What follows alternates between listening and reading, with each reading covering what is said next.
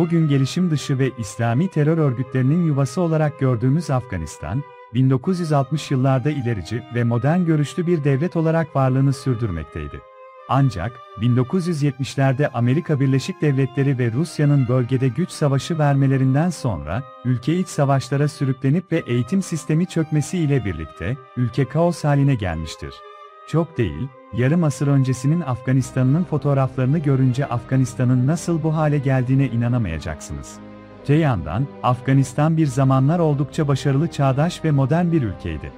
Bununla birlikte, en çok sorulan sorulardan birisi ise, 1960'lı yılların ileri ve modern görünüşlü Afganistan'ın nasıl bir imajı ve görüntüsü vardı sorusudur. İşte, biz de bunun akabinde bu videomuzda 1960'lı yılların ileri ve modern görünüşlü ve çağdaş bir konumda bulunan Afganistan'dan kareleri, sizler için derledik. Ama bu videoya geçmeden önce kanalımıza abone olmayı, bildirimleri açmayı ve tümünü seçmeyi unutmayınız. İyi seyirler. Özellikle 1960'lı yıllarda Afganistan modernizmi ve gelenekselliği birleştiren, klasik minibüs dönemini de yansıtmaktaydı. Gördüğünüz resim, günümüzdeki Kabil Üniversitesi kampüsü, fotoğraftakinden pek farklı değil ancak insanlar farklı. Gördüğümüz kadarıyla, 1960'lı yıllarda öğrenciler batı tarzında ve özgürce istedikleri kıyafetleri giyebiliyorlardı. Hatta o yıllarda Afgan kadınlar istedikleri alanlarda profesyonel kariyer bile yapabiliyorlardı. Ama şu anda ise eğitim veren okullar terör hedefi haline geldiğini görmekteyiz. Şimdiki fotoğrafta ise 1967 yılında görkemli bir parkta güneşin tadını çıkaran insanları görmekteyiz. Fakat Amerika'nın işgalinden tam 40 sene sonra aynı yere baktığımızda ise o yerin bir harabeye dönüştüğünü de görmekteyiz.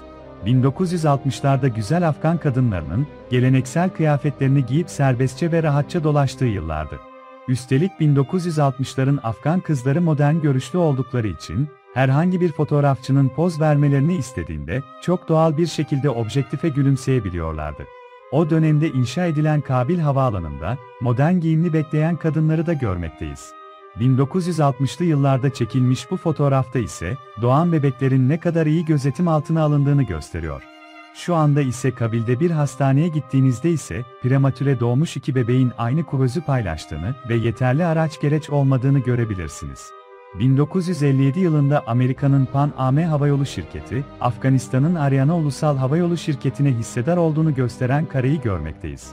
1960'lı yıllarda Batı'nın etkisiyle Afganistanlı kadınların eğitimine oldukça önem verilmişti. Üstelik o yıllarda ülkede lise eğitimi zorunlu kılınmıştı. Ayrıca Afgan kızları lise eğitimi ile sınırlı kalmıyordu, hatta üniversiteleri de doldurmaktaydılar. Bu fotoğrafta ise tıp fakültesinde eğitim alan Afgan kızları ellerinde insan uzvunun alçıdan yapılmış bir maketini inceliyor. Bu fotoğrafta ise o yıllarda daktilo eğitimi alan Afgan kadınlarını görmektesiniz. Kabil Üniversitesi'nden 1960 yılında mezun olan gençlerin yer aldığı üniversiteleri ise modern ülkelerden hiçbir farkı olmadığını da ayrıca görmekteyiz. O yıllarda devlet, köylere ve küçük yerleşim birimlerine insanları çeşitli hastalıklardan korumak amacıyla sağlık ekipleri gönderiyordu. Ancak şu anda bu hizmet ne yazık ki imkansız. Çünkü Birleşmiş Milletler ve diğer uluslararası kurumların bu bölgelere yolladığı ekipler, bazı terör örgütlerin hedefi olmaktadır. Afganistan'da 50'li ve 60'lı yıllarda kız ve erkek izci takımları bulunuyordu ve bu takımların programları Amerika ile neredeyse aynıydı. Ancak bu uygulama 1970'lerin sonunda Sovyetlerin istilasıyla birlikte ne yazık ki kaldırıldı. Bir zamanlar Afgan halkı sinema eğlencesini park sinemasında karşılıyordu. Burada Hollywood filmleri olmak üzere birçok filmin gösterimi de yapılıyordu. Eskiden anneler çocuklarını alarak parklara götürür, çocuklar yaşıtlarına karışarak tahterevalliye binerdi. Ancak şimdi sokakta değil çocukları, kadınları bile fazla görmek mümkün değil. Afgan ekonomisine kaynak sağlayan en büyük etkenlerden birisi de endüstriydi. Özellikle mahalle arasında açılan atölyeler insanlara iş yönünde katkı sağlıyordu. Şimdi ise elektrik bile kolay ulaşılabilirliğini kaybetmiş durumda. Şu anda ise Afganistan'ın dışarıya gönderdiği en önemli şey ise maalesef uyuşturucu maddeleridir. Bu fotoğraftaki fabrika, o dönemde Asya'nın en modern fabrikalarından birisiydi. O zamanlar Afganların gelecekleri parlak görünüyordu, ayrıca ekonomi de büyümekteydi. Ancak 40 yıllık savaş dönemi bütün endüstriyi yerle bir etmiştir. 1950'lerde ve 1960'larda birçok kadın çeşitli işlerde çalışabilmekteydi. resimdeki ise çalışan kadınların toplu taşıma ile işe gidip geldiğini göstermektedir. 1960'larda yoğun olan trafikten karelerde görmektesiniz. Bu fotoğrafta ise tatil günü piknik yapan Afgan gençlerini görmektesiniz. 1964 yılında Ruslar tarafından inşa edilmiş Hindikuş Dağı'ndaki Salang Tüneli'nden bir kare.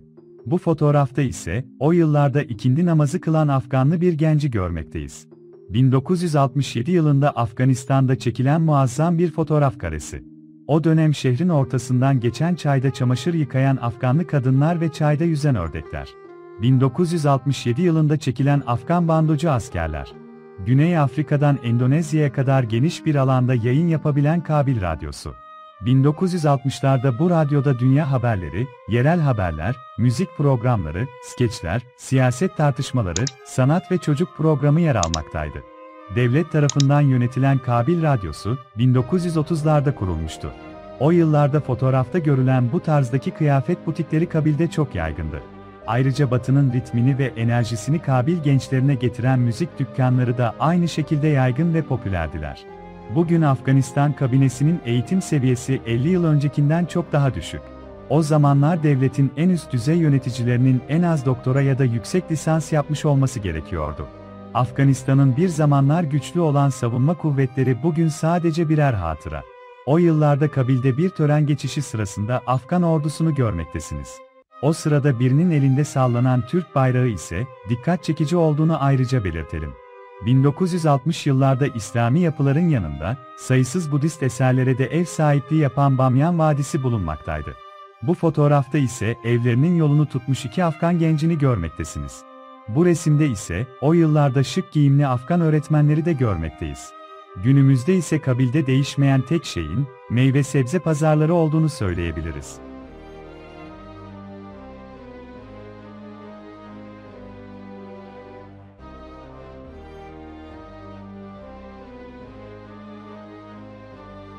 Videomuzu izledikten sonra, bu konu hakkındaki tartışmalı yorumlarınızı, yorum kısmında merakla bekliyoruz. Ayrıca, bu tarz videoların daha çok gelmesi için, bu videoyu beğenerek bize bir iyilik yapabilirsiniz. İzlediğiniz için teşekkürler.